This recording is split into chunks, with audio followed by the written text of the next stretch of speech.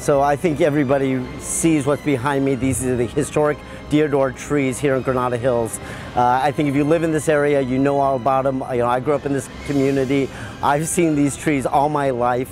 And so these trees were planted in 1930.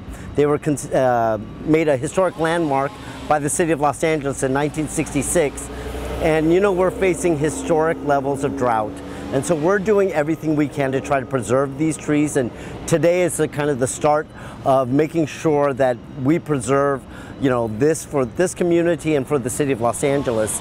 And, you know, this is a very special place for our community, not only because the beauty of these trees, but I think some people will recognize this as the backdrop of the movie E.T. of you know with Elliott and, E.T. gliding down, flying off, you know, flying uh, into the air.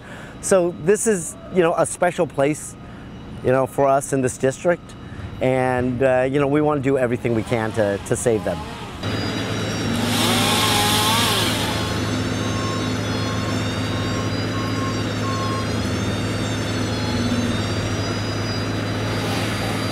Our office gets a budget every year to do tree trimming throughout the district, but I have the largest district in the in land-wise in the city of Los Angeles. And so we have to really be careful about where we spend those funds. These are so important uh, to all of us that we're actually providing additional funds to pay for overtime. We're here on a Saturday morning. Uh, these crews are working on overtime and we're, we're happy uh, to be able to raise the funds to do that.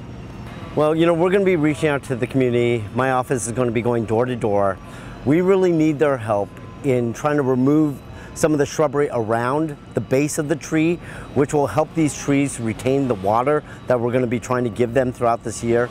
Um, it's just an important part of it, and we hope that they'll join us in, in preserving what is, you know, a, not only a landmark to the city, but just a really special place for this community. Like Councilmember Lee, it's very important to get rid of the shrubbery around the trees to let, us implement our program, to put our program into place, to uh, give supplemental watering to the cedar trees to help them rejuvenate uh, their current state. The trees are going to be frequently watered throughout the month as funded by CD12 for the period of one year. Yes, here at uh, UFD Watering, this is uh, we, what we use. It's uh, similar to drip irrigation. It's a water bag. It holds 15 gallons. Uh, each tree is going to get four bags, supplementing the water that the tree needs in the summer due to the hot summer months. You know, we have the Business Improvement District uh, behind us in Granada Hills on Chatsworth Street that has done really so much work to revitalize that corridor.